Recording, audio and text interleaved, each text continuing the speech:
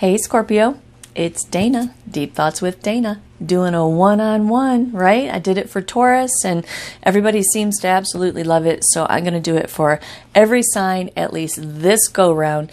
And then I'll decide if I want to keep doing it or not because it makes me highly uncomfortable. Don't like it. It slows me down and I feel weird. So, Anyway, this is a, uh, if you're new to this channel, video here, this isn't normal, okay? It's usually just the cards in my hands that you're looking at. So this is weird for me, and like I said, it kind of slows me down a little bit. So, this is a general reading for the sign of Scorpio. If you have Scorpio anywhere in your chart, this reading may resonate with you. If you don't have Scorpio in your chart, this reading may still resonate with you. And if the reading doesn't resonate with you at all, leave it on the shelf and walk away. Okay? It's not your reading. Just walk away. Don't try to make it fit. Don't think anything bad's coming into your life. Just, just, not that this is a bad reading, but just leave it alone. Okay? All right, if you want a reading with me, you can reach me at deepthoughtswithdana.com. There's a link in the box below. There's also a link in the box below to a video that I did. It's more of an audio than it is a video, although it does have some graphics in it, some images. But um, I did a video about how to create abundance in your life by following the lessons of the tarot. And I put out part one the other day that's the link in the box below, and it covers the major arcana, okay? It's really good. Even my mom, who is a strict Southern Baptist, who doesn't really jive with anything that I do, I sent it to her and she listened to it, the whole thing, because it's like an hour, right? She listened to the whole thing and she told me that it totally and completely enlightened her about what I do, what the cards do, what the whole thing is about. So, particularly if you'd like to maybe enlighten somebody about what tarot is, that seems like it might be a good video to do that. So there's a link in the box below. Give it a go. All right, Scorpio, let's do this, okay? Let's do this. All right, so you open this reading with the Two of Wands. This is you uh, planning planning for your future. To the Two of Cups. This is you planning to enter into a Two of Cups relationship. To the Ace of Pentacles. This is you planning to enter into a two an Ace of Cups, a Two of Cups relationship wanting to create a brand new opportunity. So let's just rearrange these. This is you planning for your future, getting ready to to um, manifest an opportunity, a brand new opportunity in your life in a Two of Cups relationship. Now, this could be, just saying, till we get through the rest of the reading here, okay? This could be business with the Pentacles and partnership with the Two of Cups. Or it could be a prosperous new opportunity all the way around in a love relationship, okay? Can go any way. All right. So we have you planning for your future, preparing, doing exploration and discovery about presenting an Ace of Pentacles opportunity in a Two of Cups situation. Temperance comes in and says that you're sitting on it for a minute, though. Sitting on it for a minute. Temperance is clarified with the star card hope, faith, purpose, and renewal. Okay, so temperance comes in and says you're sitting on taking any action in presenting or accepting this Two of Cups offer. Okay, the Ten of Wands. The Ten of Wands comes in and says that this there there is a burden and a struggle here for you. There is a burden and a struggle in your feelings. So there's a burden and a struggle in your feelings about either pursuing or presenting an opportunity to create a new uh, beginning with somebody in a Two of Cups relationship. Temperance comes in and you're sitting on it though because it's a real struggle in your feelings. You're struggling in your feelings about this situation. The star is the, the, the crowning card of this whole row. This star talks about hope, faith, purpose, and renewal in this situation.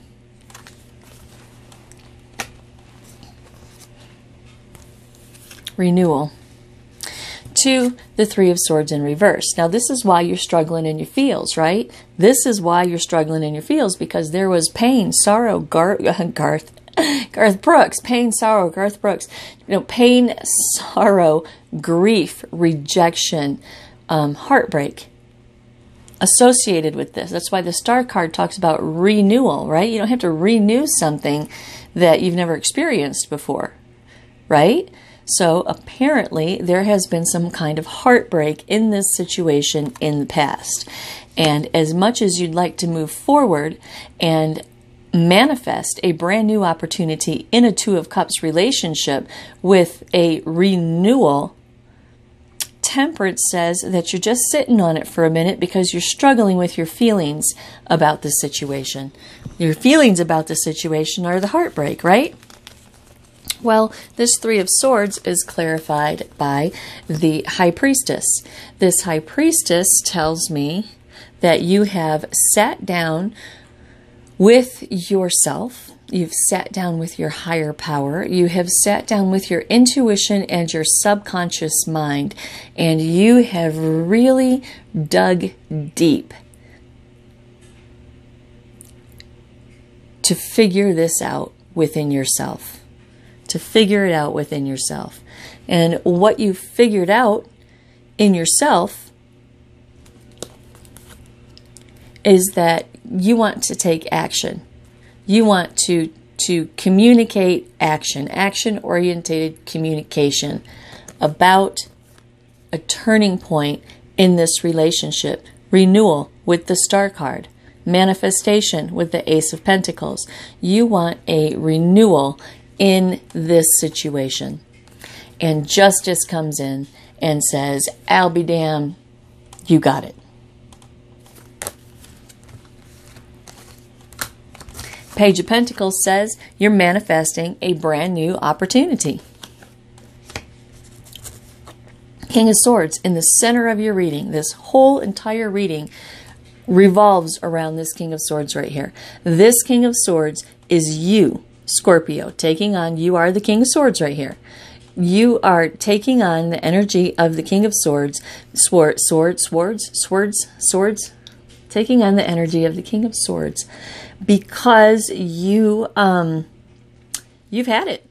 You've come to a conclusion that damn it, you're going to do what you're going to do and you want what you want and that's just the way that it is. I am throwing it down and I am taking what I want and I'm going to do what I want and this is my truth and this is what's happening. This is that card, right? It's like, boom, right here, right now. Throwdown. That's what this card's about. okay. Decision. This whole reading revolves around some kind of decision, Scorpio. So, the King of Swords is, cl- is clarified, is followed by the Four of Cups. Focus. Focus. Focus. There we go. So the King of Swords, the heartbeat of this entire reading, is followed by the Four of Cups. This Four of Cups is talking about contemplation and reevaluation of everything, which is what you did in the King of Swords energy, right? Contemplation and reevaluation of everything, getting some absolute mental clarity, absolute mental clarity about what you want to do and where you want to go with this relationship, speaking your truth. This is the Queen of Swords implementing your truth. What's your truth? Is that you want to manifest a brand new opportunity with someone that it didn't work out the first time or it never got to go. It never got to start or it didn't work out.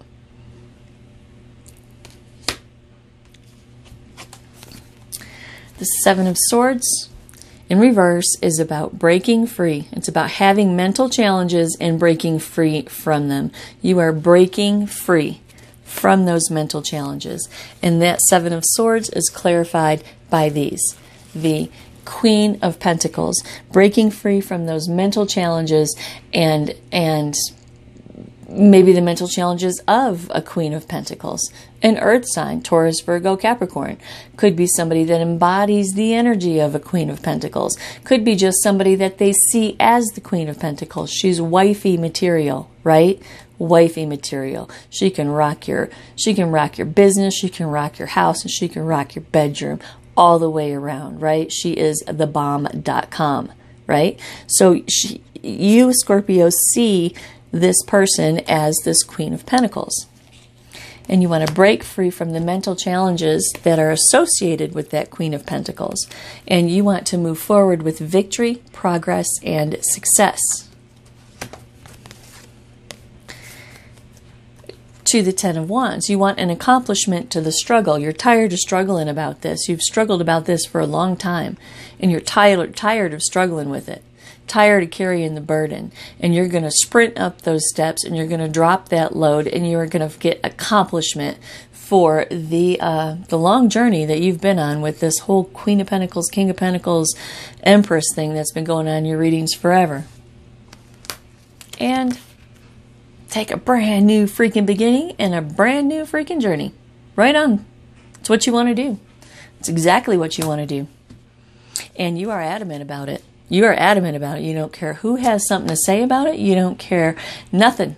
This is what you want. You want to manifest a brand new beginning in a love relationship with somebody that you struggle with your feelings about because there was heartbreak and pain in the past.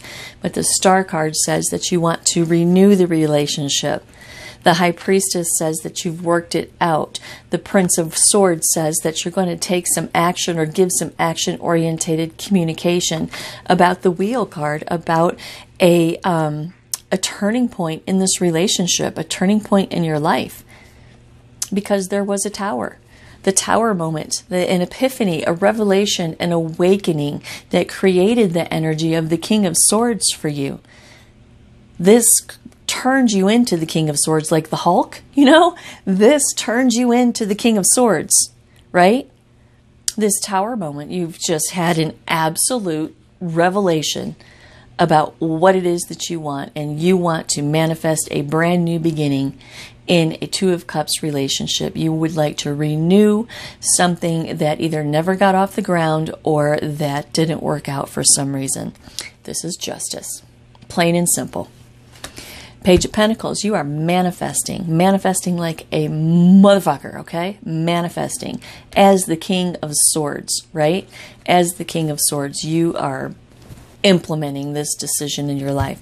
Four of Cups says, at, because after much contemplation and reevaluation, you've come to a sharp sense of mental clarity followed through with the king with the queen of wands to execute this decision to the ace of pentacles to manifest a brand new beginning Seven of Swords says that you're breaking free of the mental challenges. The Queen of Pentacles comes in and says the mental challenges of this Queen of Pentacles, this wifey material that you see right here.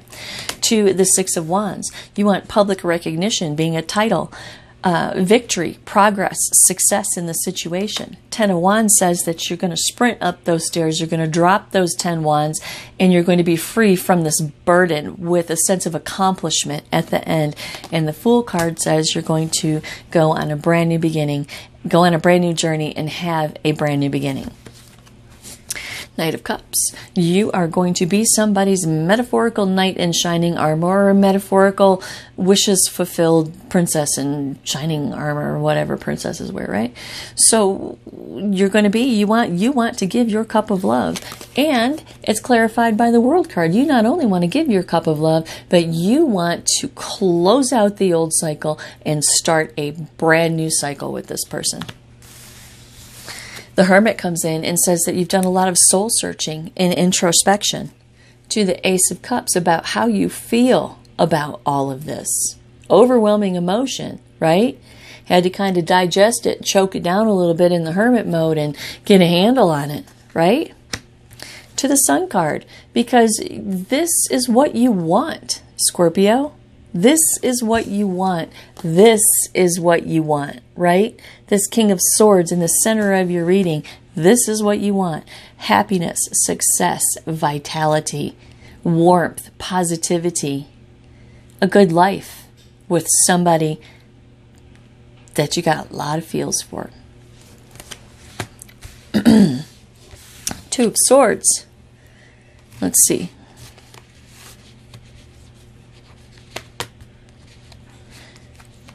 Two of Swords is about choices, okay? Choices. Choices that need strength. Two of Swords followed by strength. Choices that need strength. What these choices are is that the choices are talking about the King of Cups, your feelings, right? Your feelings, followed by the Hangman in reverse. So it's your feelings and stalling, right? Stalling to the um, Eight of Wands speed, change, movement, action, travel. So, what the decision is that you're making with this little Two of Swords right here that has needed some strength from the beginning of this reading is the fact that you're you are stalling your feels and you need to take action. That's what these three cards say. Is that you're stalling your feels and there needs to be action in the situation or you are taking action in the situation. What is this action? What is this action you speak of, Spirit? What is this action? What is this action right here? What is this, please, Spirit, for Scorpio? What is this action? What is the Eight of Wands? What is the Eight of Wands? What is the action? What are you going to do? What's Scorpio going to do? get married. it is the card of marriage, though, the Four of Wands. Um, yeah, you are going to actively create structure, stability, and foundation in this relationship. And um, I don't know, you know, maybe you do see him as marriage material. Maybe maybe marriage is on your mind, but nevertheless, um, you're going to come together in harmony, stability, and you're going to create some structure in this relationship. And that's freaking beautiful, Scorp. That's a beautiful reading. That is a beautiful reading. Now, look what I got. What time we at? 1727. We have some time. So I got these cool oracle cards the other day. I'm not much of an oracle card person. I've tried all the angels and the animals and the Doreen Virtue and all that stuff, and it's just not me. I just, it's just not me. So I don't really have them. But I found the Magdalene Oracle, and um, long story, but I have an affinity for Mary Magdalene in the Christian Bible, and um, I identified with these when I saw them. So I picked them up, and I really do like them. So I am going to pull an Oracle card for you. So, Spirit, what are some parting words for Scorpio right here? Huh? What are some parting words for? They're, they're huge. What are some parting words for Scorpio? What are your what are some parting words? You have advice, some wisdom. What are the parting words for Scorpio here? Surrender. Let's see what surrender is about. My goodness, did Taurus get that? Let me read it. No, Taurus didn't get that one. Acceptance is what Taurus got. Um, surrender, surrender, surrender. A, B, C, D, E, F, G. H I J K L M N O P Q R S T U V. Right, surrender. At present, it seems that the harder you try, the more. At present, it seems that the harder you try, the more the things you want elude you. There's not much you can do at the moment except wait. Surrender your expectations and be patient.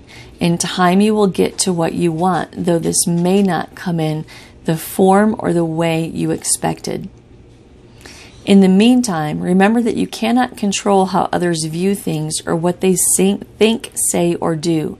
In time, you will come to realize that the current events are a blessing.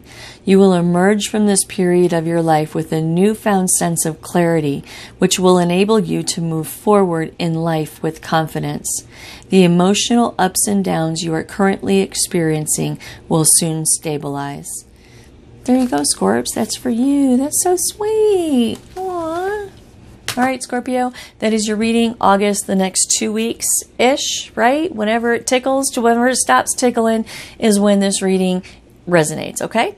So there you go. I hope you enjoyed it. Deepthoughtswithdana.com. If you want a personal reading with me, check out the video link that I put below too. And namaste.